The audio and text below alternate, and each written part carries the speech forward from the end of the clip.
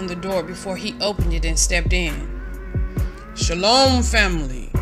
His deep voice boomed through the empty, dim house. I still sat at the table with little Yaakov and pretended to listen to him as he told me about the time Monroe took him riding on his big white horse. Dog lay on the ground by my feet, her big warm body resting against my leg.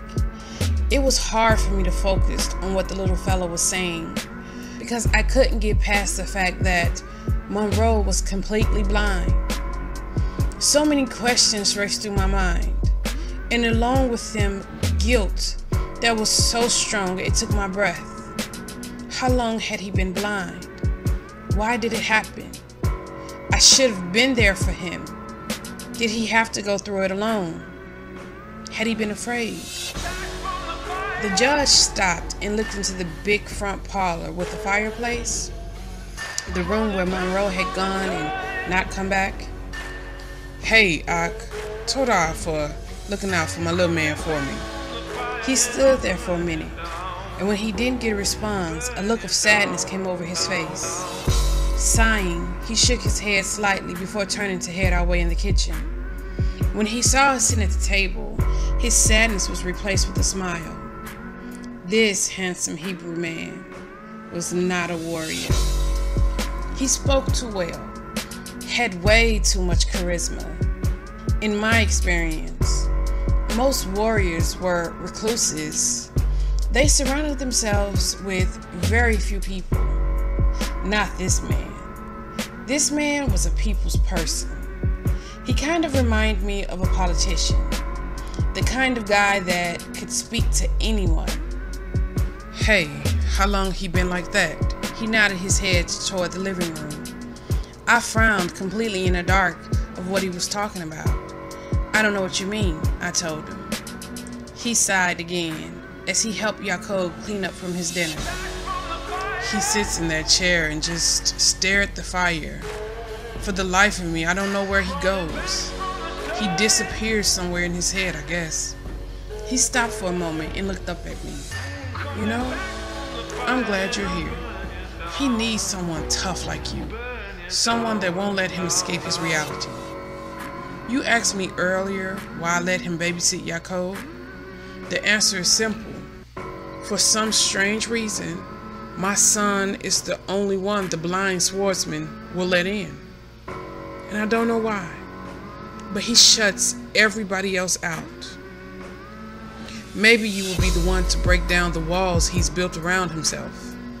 He smiled at me, although it didn't reach his eyes, before holding out his hand. In all the chaos, we haven't formally met. My name is Malachiah. I shook his hand. AnatiYah, how's my sister? Better than you. She's soaking in a nice hot bath with bubbles up to her ears. My mouth dropped. A bubble bath? I whispered. Oh dear Yah, what I wouldn't do for a bubble bath. He nodded his head before looking down at his son. You ready to go, buddy? Yaakov shook his head no. Malachi frowned. Why not? Cause the pretty lady don't want me. My gaze flew down to him, the pain in his little voice so real. Do you mean Gina? I asked. I don't know her name. He muttered, looking down at his folded hands on the table. His father nodded. Kane Yaakov. Her name is Gina. The little fella nodded before looking up at me with sad eyes. Yeah, Gina. He said. I rubbed his head. Oh, it's not that Gina doesn't want you, sweetheart. She's just afraid. His eyes widened. Afraid of what? I smiled. Well, this is her first time being away from her big sister. I put my hand on my chest. I have taken care of her for a very long time. And now it's you and your daddy's turn to take care of her for a little while for me. So you have to go and make her feel welcome so that she won't be afraid anymore. Can you do that? His little face brightened and he nodded and Oh, yeah, I can do that. He jumped up from the table and sprinted towards the door. Bye, Monroe. I'll see you tomorrow. He yelled in the living room without stopping on his way out the front door. His father looked at me. Thank you. I waved at him. Just take care of my sister. He smiled. I will. You have my word. He turned to follow his son, but then he paused and turned back around to look at me. Yahuah showed me Monroe about a year ago before he washed up on these shores in a small boat nearly dead. At the time, at the time we were barely keeping the enemy out. He shook his head. None of us were warriors, and we lost a lot of men. And then Monroe showed up. He chuckled dryly. I thought, after all these years Yah had been talking to me, showing me things, I had finally got a false vision. Because surely the blind old man that was nearly dead in the boat couldn't be the one he was sending to protect his land. He shook his head. So we dragged him up to this house. It took a bunch of us to carry him too. Dead weight, that sucker is heavy. Why this house? I asked. He shrugged. It was the one I had been told was for him. But like I said, at the time, I thought I had been led astray by that vision. So you can imagine my surprise when he regained his full strength and I learned that he was actually a young man under all that white hair and the best warrior I had ever seen. His bloodlust was astonishing. Within a week, he had completely cleared away the enemy. We were burying bodies by the hundreds as to not attract any blood fiends. I had never seen anything like it, him being just one man. And then when there was nobody else to kill, he sat in that chair staring at the fire and just checked out. And the only time he checks back in is when it's time to train the men or for some strange reason when Jacob comes over. I have never seen anything like the pain that's reflected in his white gaze when he withdraws.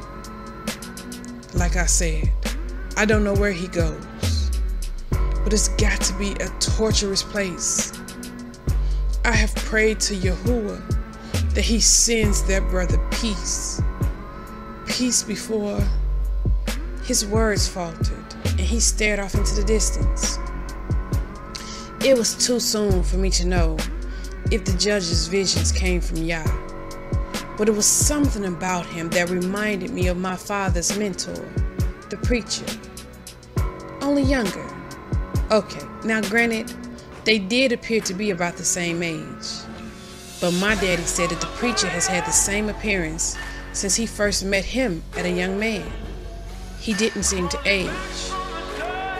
Although it's been many years since the last time I saw him. Anyway, there was something about Malachiah that really put me in the mind of him. Before what? I gently urged him to keep talking. He looked back at me, but his gaze was still distant. There is a storm coming, sis. Yahuah's wrath is right upon the shore. There will be days like none the world has ever seen before. The journey ahead of us is one fraught with peril. And I, I pray that Yahuah sent him peace before that journey. He blinked, coming out of his thoughts. Sis, I saw you in my vision, and I have a message for you. You must learn how to be unselfish and give completely of yourself. And in doing that, you will bring peace to a raging storm. And then he turned and left following his son out the front door, closing it gently behind him. I sat there at the table thinking over his cryptic message, lowering my hand to scratch Dog's head, taking comfort in her soft fur. Be unselfish, he had said. Give completely of myself. I had no idea what he was talking about. I was the least selfish person I knew. Everything I did, I did for somebody else. Bring peace to a raging storm? Surely he didn't think that I could stop Yah's wrath. Is that the storm he's speaking of? I inhaled, looking around the dim kitchen that was lit by a beautiful Spanish style light fixture that hung from the ceiling over the island. But where it was a place for several light bulbs, there was only one. And I could imagine one had to preserve things like light bulbs. Although, I wonder how this little town, hidden in these mountains, received electricity. I didn't see any solar panels on the houses, stores, or the city hall and electric companies were a thing of the past. They were the first thing to go down when the flare hit, so they couldn't be receiving power from that avenue. I inhale. I am so stalling right now. I couldn't avoid Monroe forever. I needed to find out what his plans were for me. Come on, Ty. You can do this. Slowly I stood Dog came to her feet next to me. As we walked toward the front parlor, one of the big wolves came out and stretched out in front of the front door. I frowned at him, wondering if he was the same wolf that stretched out in front of the door earlier. He was obviously trying to send me a message. My steps slowed when we reached the parlor. Monroe sat slouched down in a big chair facing the fire. His long, powerful legs were stretched out in front of him. His muscled arms were draped over the high arms of the chair. He stared in the fire without blinking. On the floor next to his legs sat the same wolf that had not left his side since I've been here. And I know it's the same wolf because he's the only one that wasn't all white. He had two black streaks behind each one of his ears. His big head rested against his paws, and he too stared into the fire without blinking. Slowly, I approached them. Neither of them showed any signs of knowing I was in the room. I stood with my back against the wall next to the fireplace, facing him. He didn't blink. There was not one eyebrow twitch, nothing to show that he knew I was here. I slid down the wall, sitting with my knees drawn up to my chest, hugging them close as I studied him. He stared at the fire with his all white gaze, as if his body was a shell, and everything that made him Monroe had checked out and traveled to a time in his past. I wondered where he was. Dog came to rest next to me, I rubbed her soft fur as I took him in. He had changed so much since I last saw him. I mean, don't get me wrong, Monroe was a wild boy. But with his long hair all over his head and his beard a mangled mess on his face, he looked savage. My gaze fell to his big tan hands. His knuckles were covered in bruises underneath his fingernails were clean, so that's a good sign. At least I know he bathed. Although it didn't look like he did much else. His clothes were fairly clean. Fairly. I wondered what he was thinking about as he stared into that fire. There was times I used to sit transfixed and listen as he shared his thoughts with me. He saw the world differently from everybody else I knew.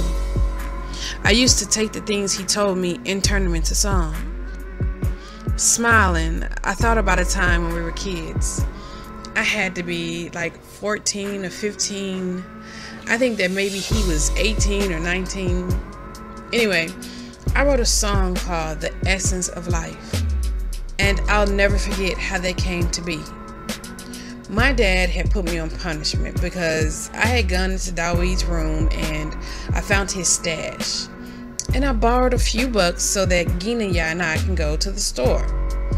And Daweed got so mad at me because he was saving his money for something or another.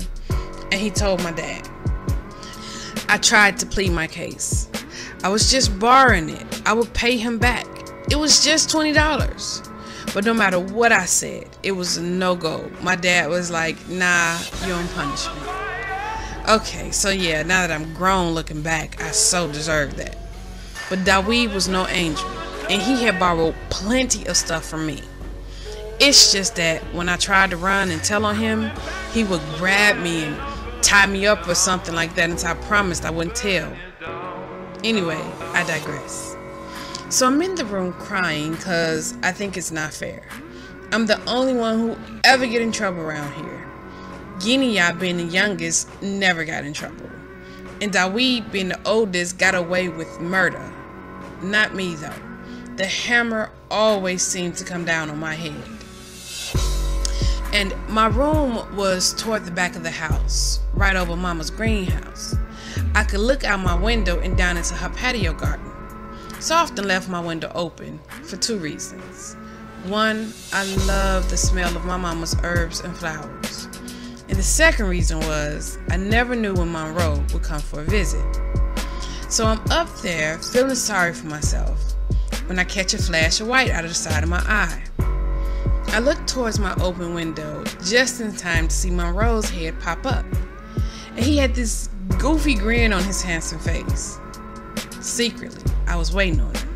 Because he always came to me when I was hurt or sad or angry or even happy for that matter. You want to go outside? He asked. I folded my arms. I can't. That wee big mouth butt told on me and my dad put me on punishment. Monroe hauls his body up and as agile as King hops into my window. Come on, I want to show you something. I looked up at him confused, but I can't leave the house. Your pops just left with my pops and Dawid Ebenayas, he said, reaching for me. I could have guessed Dawid was gone, or else Monroe would not have attempted to come through my window during the day. But I didn't know my dad had left. Monroe pulled me to my feet from where I sat on the floor in front of my bed. Turning, he squatted down in front of me. Get, get on my back. I didn't think twice. I climbed on his back, wrapping my arms around his strong neck. And I remember having to force myself not to cry out when he climbed back out the window and did that Superman thing to the roof. As he put me on my feet, I looked around surprised because I had never been on the roof of the gym before. It pretty much was empty, except for a few items that had Monroe's name all over them. Back then, he drank chocolate milk like it was nobody's business, and there were several empty cartons, along with some balled up pieces of paper from where he was probably writing rap lyrics on the ground. Obviously, this was a spot he visited often. He took my hand and led me to the edge that looked out over the ghetto. Then he picked me up and set me on the ledge. I almost had a heart attack. I did cry out, then grabbing his arms in a death grip. Shh, relax. I got you. I won't let you fall. I'll never let you fall. Just sit and look out at the world. He stood behind me with his strong arms wrapped around my waist. His chin rested on my shoulder as he looked out ahead of us. And after my heart regulated a bit and the fear of falling to the ground and splattering all over it passed, I sat with my legs dangling over the side and I looked out at my hood. The setting sun casted a warm glow over everything, giving off the feel that the day was winding down and soon it would be time to rest for the evening. There was an abandoned storefront building across the street. Down the way, a liquor store. Several of the neighborhood drunks sat out front on a few dirty crates. The smell of Uncle Remo's chicken and ribs floated from around the corner, filling the air. For a while, we sat in silence, and then he began to speak.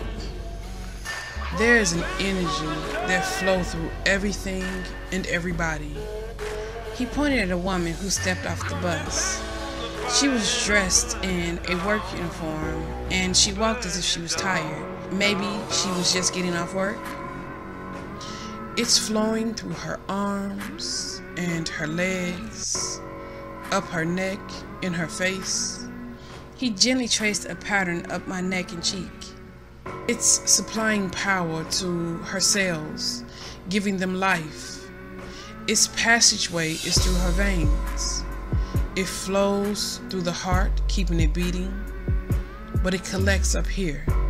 He gently touched my head. This is its home. But it's not just in people.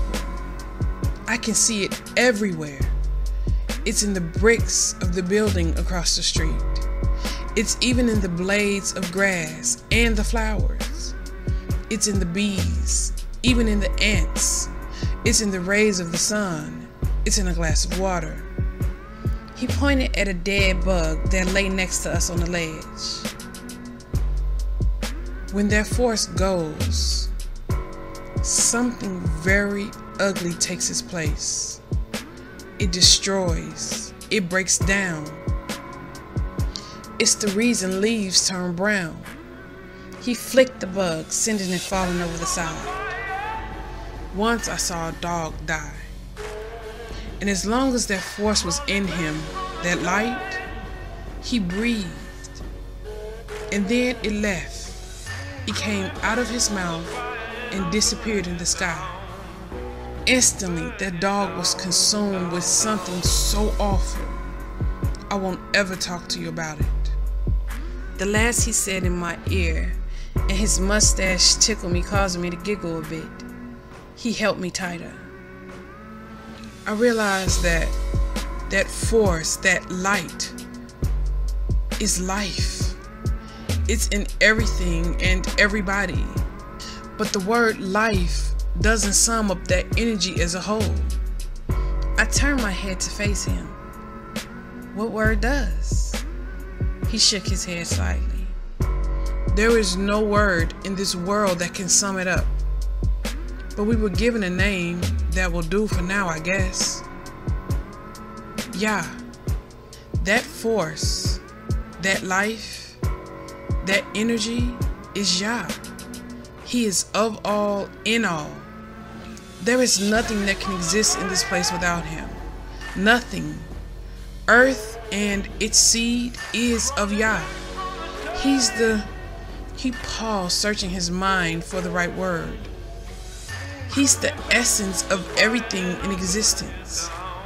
And there are no letters, there are no letters in any language created that can sum him up. He's he's the beginning and the end. Without him there is no beginning. Without him is the end. I turned to look back out at the ghetto, seeing it through Monroe's eyes. He rested his chin back on my shoulder. Sing for me, baby. Sing for me so that I can see the world the way that you do. He whispered gently in my ear. And for a moment, I marveled that he had spoken the same words I had just thought about him. And then I sang for him. That night, I stayed up late, putting his words about that life force that I couldn't get out of my head in song. Dog moved next to me, bringing me back to the present. I chuckled a bit.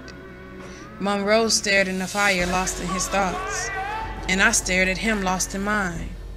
What a pair we made. For the life of me, I didn't know what to say to him.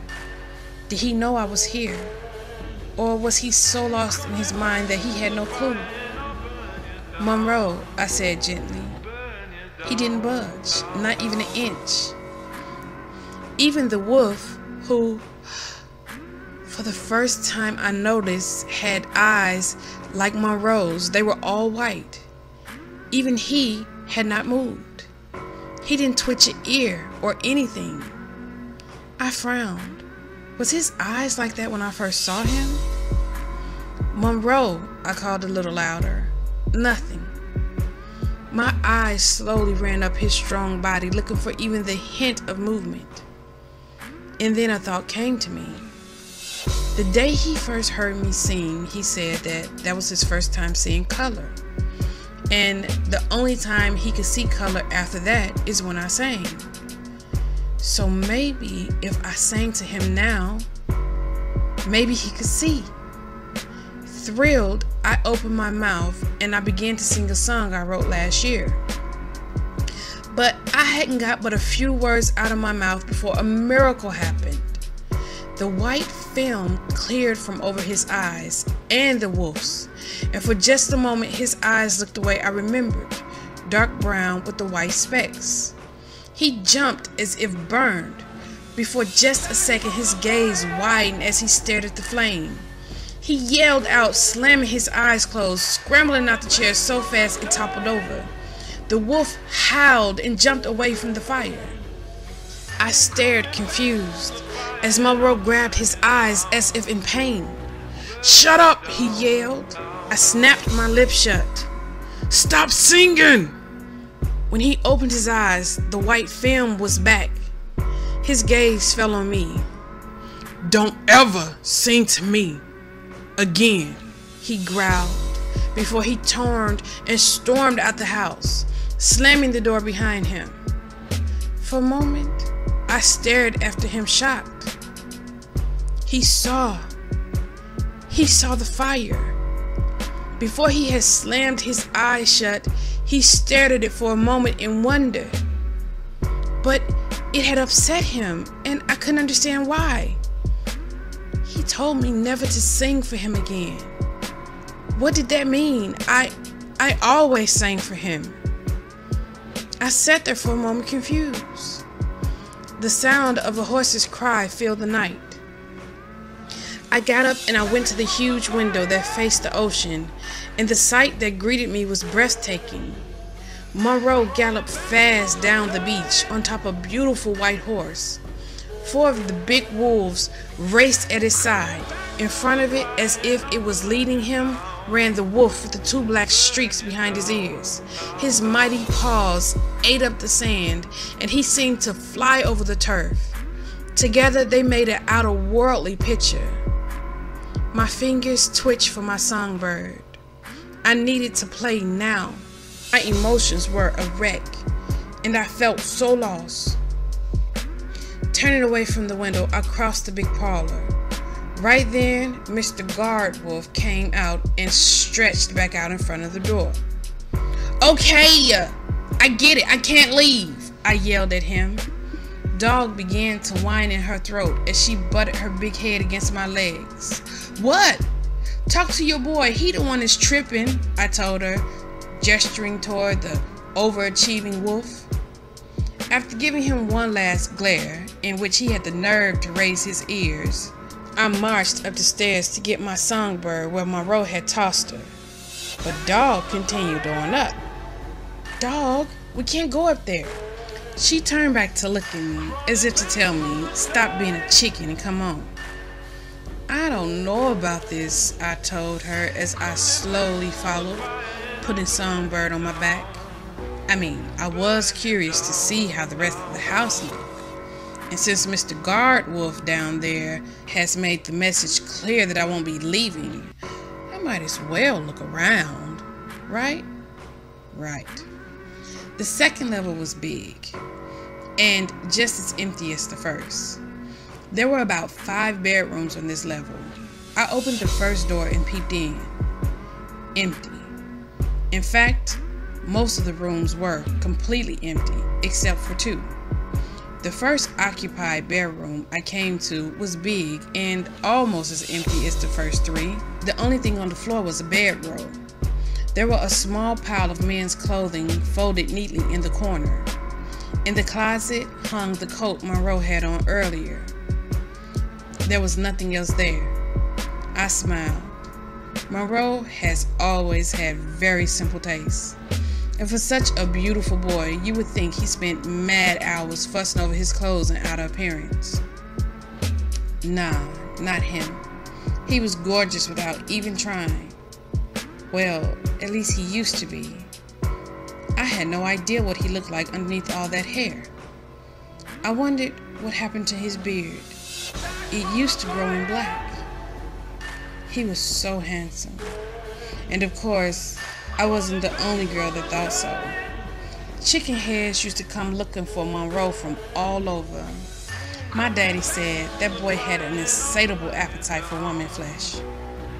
It was one of the reasons why it irritated him every time he saw Monroe talking to me. I chuckled. Poor daddy. If Gideon wasn't one of his best friends, I know he would have made Monroe disappear a long time ago. In Helen, I turned and left out of his room, shutting the door behind me. Then I went to the last room at the end of the hall. I opened the door and sucked in my breath, surprised at what greeted me. Uh, the moon cast a soft glow on a beautiful bedroom. Unlike Monroe's room, this one had a plush mattress like cushion on the floor.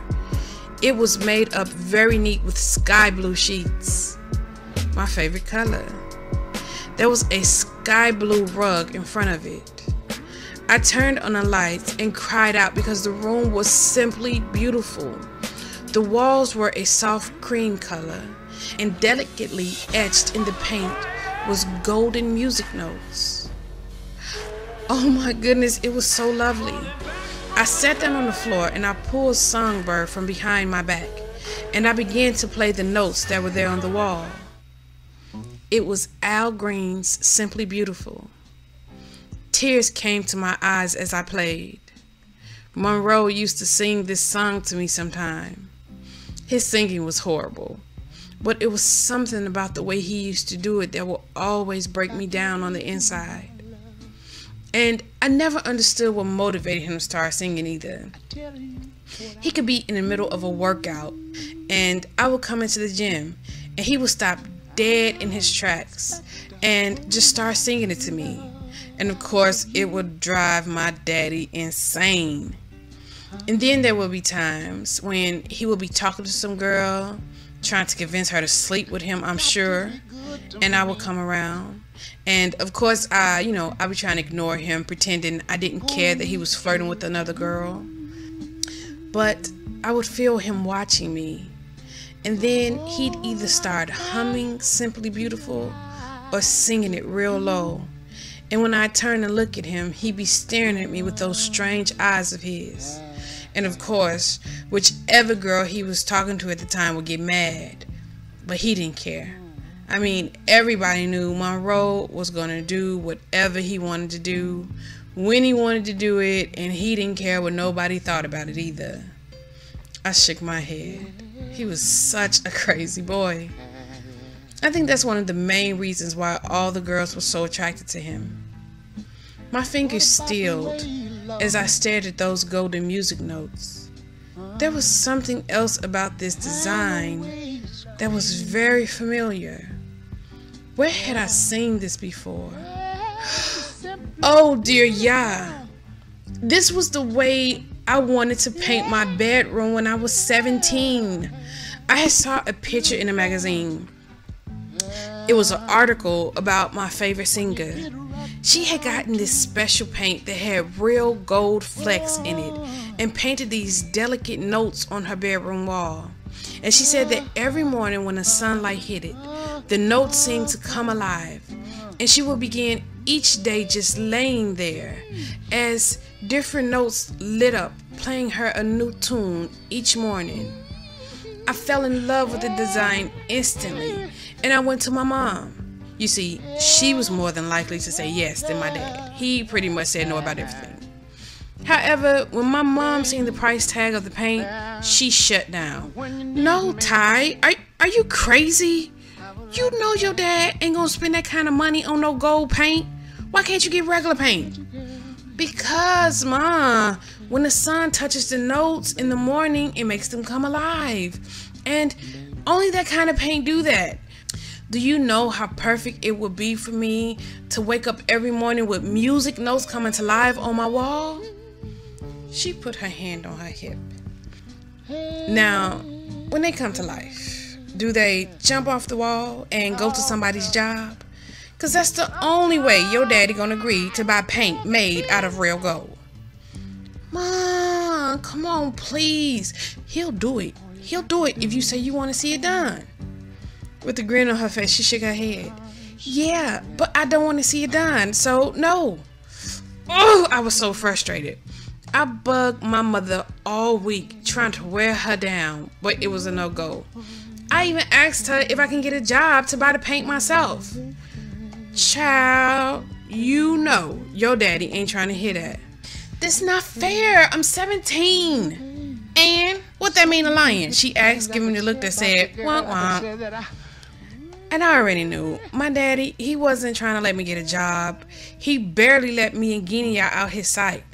Now Daweed, Daweed did whatever he want. He came in whenever he want. He went wherever he want. It just wasn't fair. That night, while everybody else was in the gym, I stayed upstairs having me a pity party. Monroe somehow managed to slip past my dad and my brother and, and made his way upstairs. I was in the kitchen making myself a burger and some fries. Why are you not downstairs? He asked before he reached over my shoulder and stole one of my fries. I slapped his hand. Cuz my family make me sick. Mm, mm, mm, mm. Dear y'all. Those words hurt so bad now. Why did I say something so stupid? Had I known that I would one day lose my whole family, I would have never said anything like that about them. I was a real dumb and selfish kid. Anyway, Monroe laughed and took a seat at my table. I turned my head back and looked at him. Um, I don't know why you getting comfortable. You know what my daddy say he gonna do to you the next time he catch you up here alone with me? He shook his head. Girl, ain't nobody scared of your daddy. He told me this in Spanish. I laughed at him, cause the only time he talked in Spanish is when he didn't want Lion to understand what he was saying. I sat down at the table with my burger and fries, and after blessing my food, I began to eat. He looked over at me as if I had grown a tree root out of my head. What? I asked as I took a huge, ignorant bite out of my burger. How you just gonna sit down in front of your man like that and not put a plate in front of me? That made me laugh real hard. I know Butter done raised you better than that, he continued. All she do is feed Lion. That's why his stomach hanging over his belt buckle down. I nearly choked laughing at him. Monroe was so retarded. First of all, I told him, my daddy belly ain't hanging over his pants. And second of all, you ain't my man. You Peach's man, and Kim's man, and Lorraine's. You is a whore. Now, if my man was here, I would make him some food. The smile left his face. Your man here, though. I looked around him. Where? Is he downstairs? All the amusement left his face. You gonna keep playing with me and get somebody killed. Now, at the time, I didn't know just how serious he was. Please, Monroe, you ain't got a faithful bone in your body. I keep telling you, I ain't trying to be with no man like that. You ought to be ashamed of yourself, because you live in bogus, brother. And I keep telling you that as soon as you agree to marry me, I will hang it all up. To you, I'll be true. I held my lips to the side in a way that said I didn't believe him. My mama say a zebra can't change their stripes. And it ain't a day that go by that my daddy don't warn me about him and his whorish ways. Heck, how many times have I heard Gideon threaten him with death if he got one of these little girls pregnant? He reached across the table, wrapping his big hand around mine. I tried to pull it away from him, but he didn't let me go.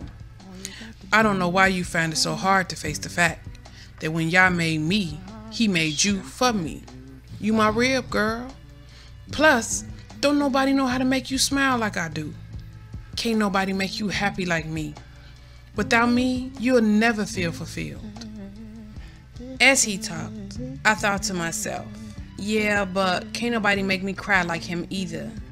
How many times I had to just sit there and pretend that my heart wasn't shredded in pieces as he flirted with some girl or had to watch while some chick who couldn't face the fact that he was done with her stalked him, slid his tires, busted out his car windows. His dad said that was his punishment for him sinning the way he did, sleeping with all those girls. You already mine, he continued. You just don't know it. Nah, what I didn't know was why the boy wouldn't leave me be. Why he couldn't just let us be friends. I loved him with all my heart and soul. He was my best friend. Why did he insist on pulling me into his madness? He kept playing these head games with me, and I wanted to be free of it. One day, I'm gonna be all you got, he said, looking at me with those intense eyes of his. and I'ma supply everything you need and most of the stuff you want, including painting our bedroom with that crazy ass expensive paint you just gotta have. But it's gonna be a room in my house, not your daddy's. One day you're gonna depend only on me, and you're gonna love only me, and I'm gonna make you the happiest lady in all the world. I shook my head at him, not believing him in the least. You see, Monroe had a smooth tongue. Dawid liked to joke with him, saying he could talk a nun out of her drawers. And as if to prove his point, he began to sing Simply Beautiful to me. I tried to pull my hand out of his to cover my ears, but he didn't let me go. In fact, he stood pulling me out of my chair and into his arms. I pushed at him trying to get free, but he only lifted me closer, burying his head in my neck. Oh my goodness, stop, you sound horrible, I cried. And he did too. But the truth was, just like every time he sung this song to me, he was breaking me down. Especially when he got to the part of the song that said,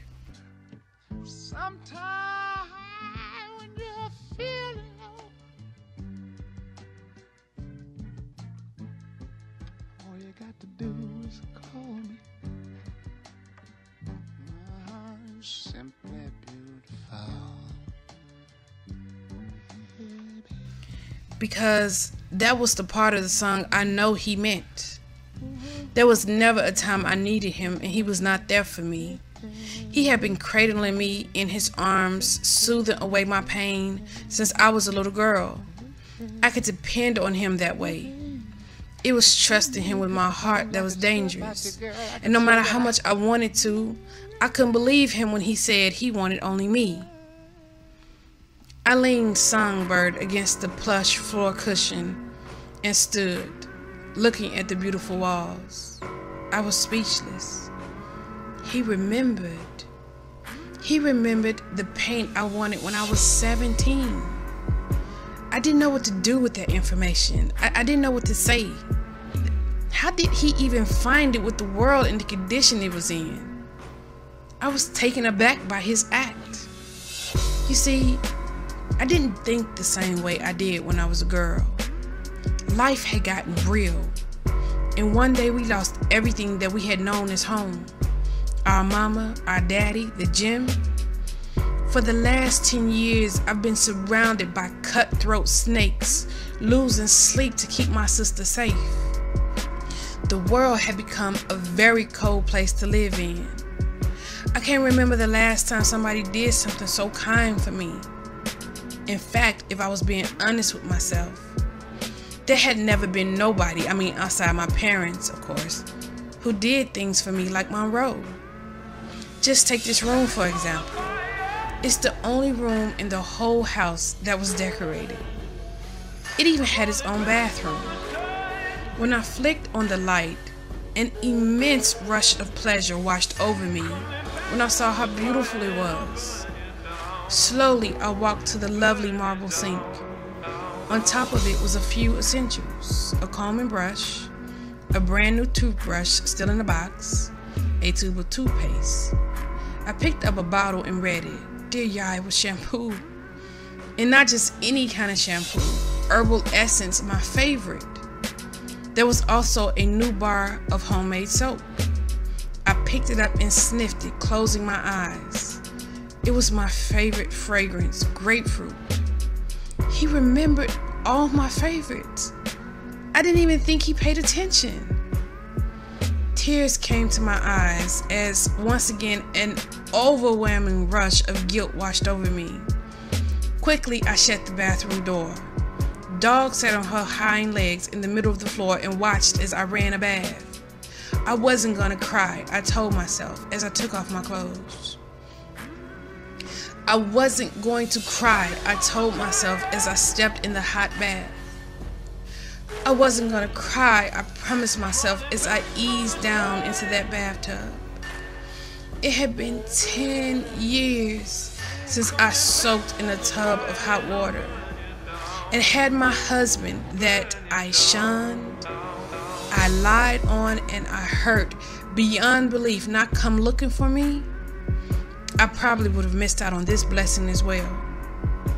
I put my face in my hand and I cried my heart out.